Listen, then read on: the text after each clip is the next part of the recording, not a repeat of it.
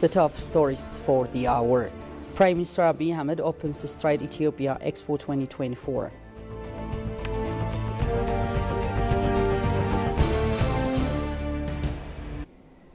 And IGAD urges high profile individuals to spearhead regional problem solving efforts.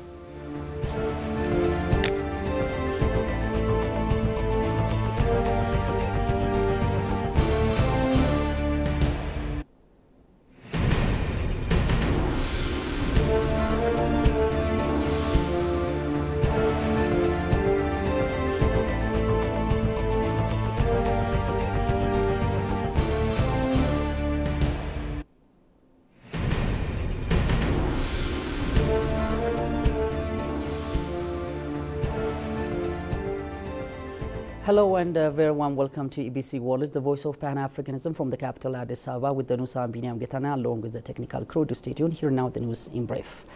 Prime Minister Abiy Ahmed launched the Stride Ethiopia Expo 2024 at ICT Park on Saturday. The launch of the Stride Ethiopia Expo marks a significant and hopeful beginning for our ICT sector, a promise that was clearly evident during my recent visit to the ICT Park, he noted.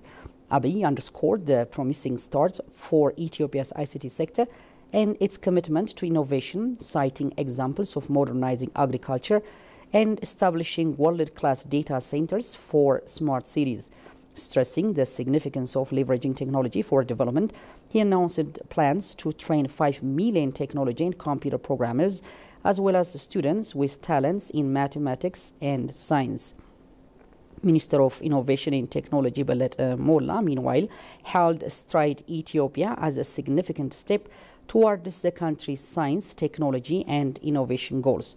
The expo, organized under the theme Science Unlocks Technology, Connects Innovation Drives, aims to foster collaboration and innovation among various stakeholders and will be open to the public at the Science Museum from May 19 to 26, 2024.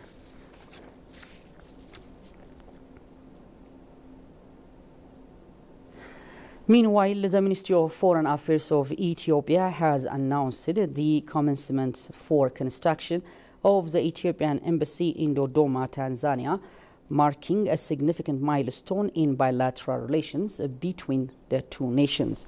The foundation stone was ceremoniously laid by Ethiopia's Minister of State for Foreign Affairs, Burtukan Ayano, in the presence of Tanzanian parliamentarians and other dignitaries.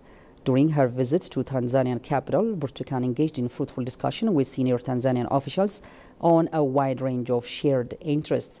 This initiative underscores Ethiopia's proactive efforts to foster mutual benefit and cooperation among neighboring African nations. Likewise, the laying of the embassy's cornerstone reflects Ethiopia's commitment to strengthen diplomatic ties and promoting collaboration with Tanzania, reinforcing the bonds of friendship and solidarity between the two countries.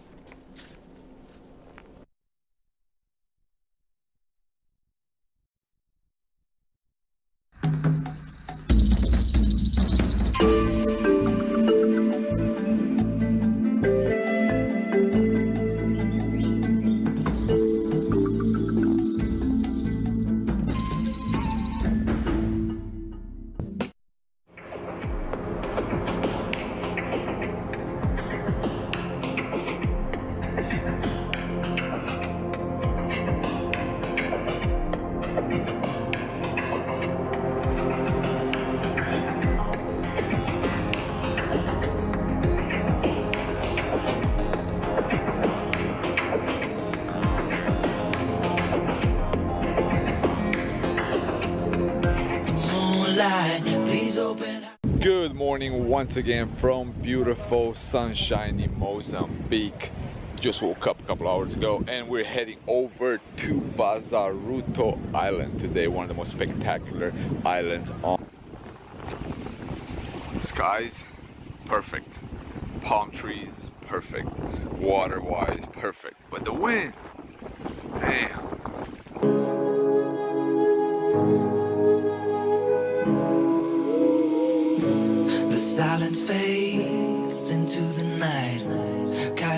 dancing at the moonlight. These open highways are calling our name. Now through the grass no shoes on. Look at this. It looks like you're going from pure desert to an oasis of palms. Date palms that is.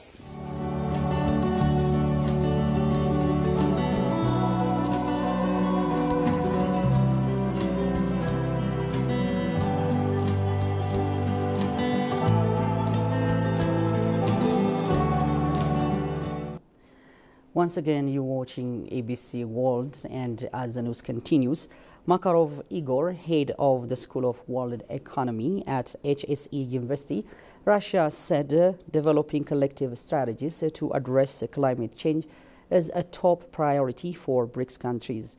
Climate change has become a key area of cooperation among BRICS members, including renewable energy, carbon emission reduction, and adaptation strategies.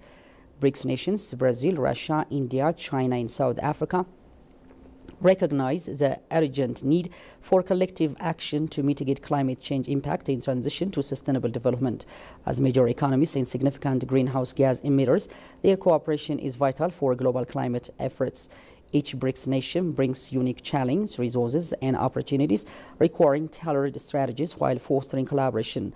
Russia prioritized climate change within BRICS, emphasizing intense cooperation as member countries are responsible for about half of global emissions.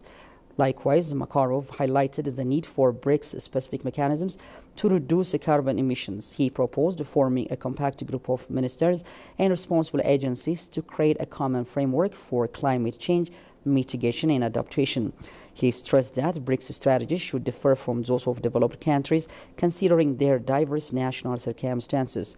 BRICS nations link climate change with sustainable development, integrating decarbonization with energy transformation, according to Ethiopian news agency.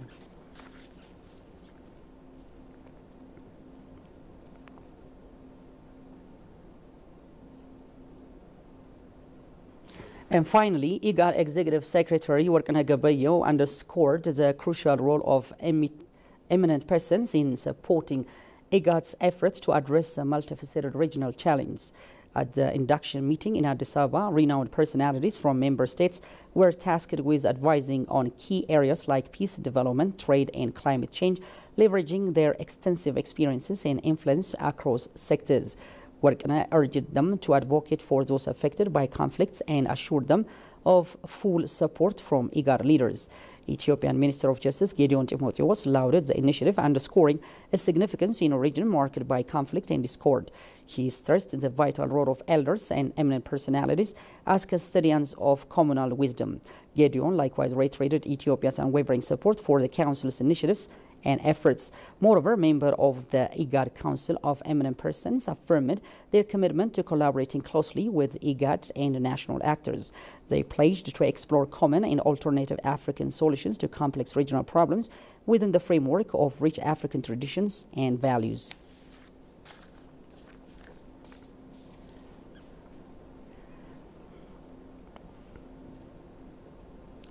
Once again, a reminder of the top stories. Prime Minister Abiy Ahmed opens the Stride Ethiopia Expo 2024.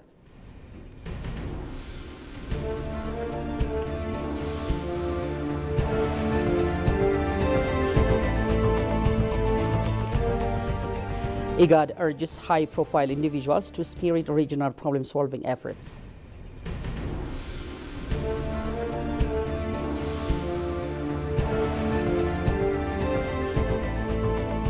You've been watching EBC World from the capital Addis Ababa, the voice of Pan-Africanism with Bibiniam Getana along with the technical crew from here.